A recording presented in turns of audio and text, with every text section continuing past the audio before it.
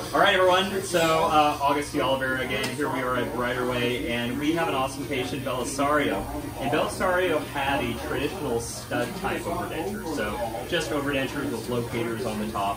And we wanted to give him a smaller prosthesis, something without a palate, something with less flanges on the lower as well. So we decided to do a bar overdenture. So here he has the wax try-in.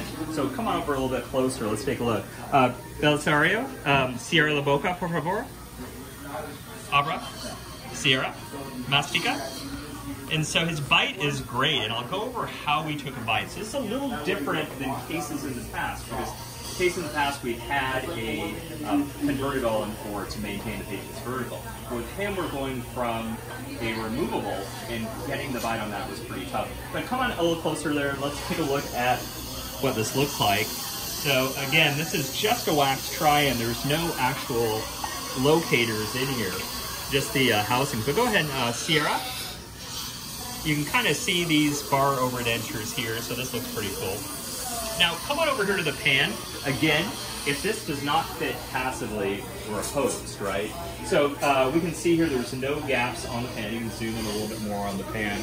Let me go over to the Primescan and, and just kind of talk about how we did this bite. So,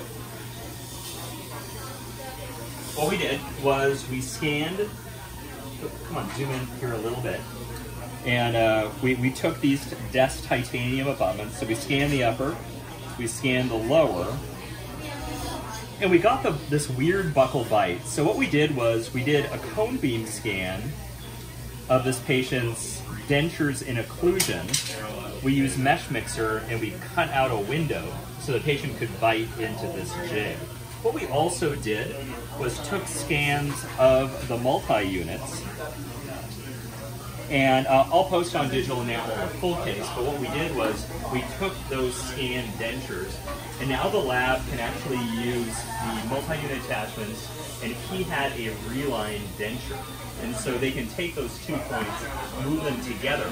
So now the lab has the scan bodies, has patient's bite, but a denture and occlusion to pick, tooth shape, midline, and all that good stuff. So again, stay tuned to Digital Enamel. I'll be posting this case within the next week.